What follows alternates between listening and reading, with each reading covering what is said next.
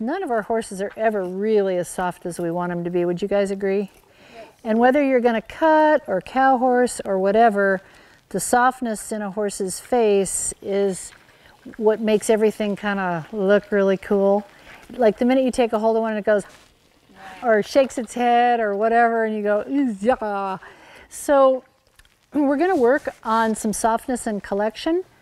And one of the exercises, the exercise we actually started off with, is when you, like the Spanish tradition, like we would normally have chains on these reins mm -hmm. and then the buttons, and it creates the weight that makes the drape in the rein.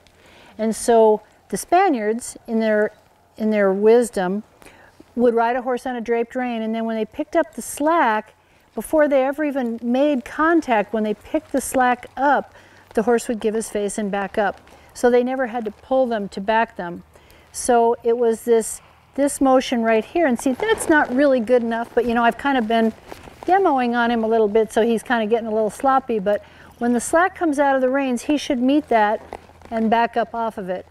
And the more that I have to actually pull him and beg him to back up, the heavier he's going to be on his front end, right? Because he's making me do half the work.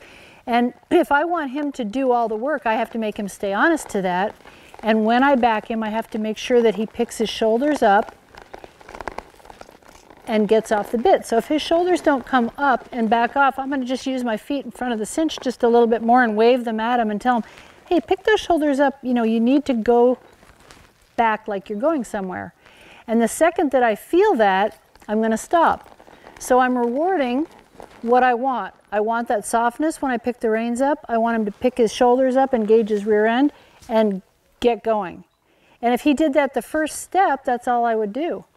If it took me halfway across the arena, I'd still go halfway across the arena until I felt his shoulders come up and him actually move like he's got to go somewhere. And the minute that he does, I want to release because horses learn from the release of pressure and not the application of it. And what that mouthful means is that he learns to back up off the bit because the minute that he does, I release the pressure. It's not because I pick up the reins and I make him back up. It's because the minute that he backs the way I want him to, I release the pressure. Okay? So I have to be careful what I reward too, right? So if we're backing and he's acting like he's got cement in his feet and I say, okay, good boy, that's what I'm going to get next time, just that same amount of try. Or if he has his head on upside down but he's backing up and I release him, then I'm telling him that that's what I want him to do. So whenever I go to back him up, he'll back like he's getting shot out of a rocket with his head up in the air.